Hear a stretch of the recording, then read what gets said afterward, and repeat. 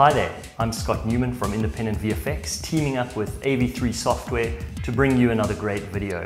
If you're wondering what I'm doing at the shooting range, it's because in this video we'll be taking a look at creating tracer fire using Adobe After Effects and Red Giant Trapcode Particular. Right, Trapcode Particular tracer rounds.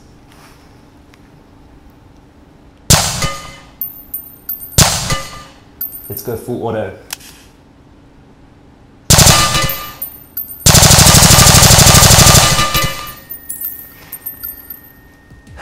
Right, so let's look at how that was done.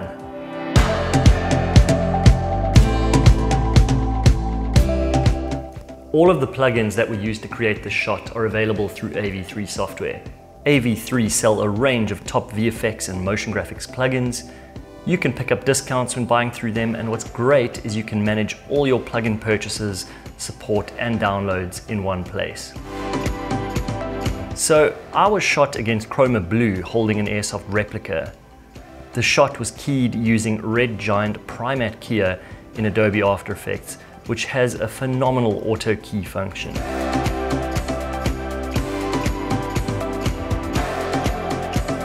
The shooting range was built as a combination of Video Copilot Element 3D and After Effects layers and lights.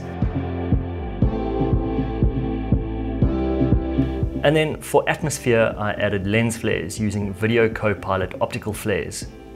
The tracer streaks were created using Red Giant Trapcode Particular. I'll go into some more detail on that in a minute. The muzzle flash and ejecting shells were also added inside After Effects. You can watch a great tutorial on how to do these over at Independent VFX. At Independent VFX, we cover a range of After Effects tutorials for indie filmmakers and VFX enthusiasts Go and check us out, especially if you're a fan of military and action VFX. As it happens, Red Giant Trapcode Particular is also the perfect plugin to use to create a stream of ejecting bullet shells. So onto how the traces were done. To achieve the bullet tracer effect in After Effects, you will need Red Giant Trapcode Particular.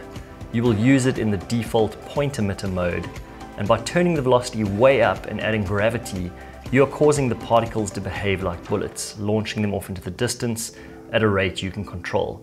It's up to you if you want to go full auto or single fire. To see the tracer effect, you need to enable motion blur, and then all the finer subtleties are added using glows and some wiggle expressions for randomness. If you would like to follow a detailed breakdown or learn how to create this effect step by step, then go and check out the full tutorial over at Independent VFX.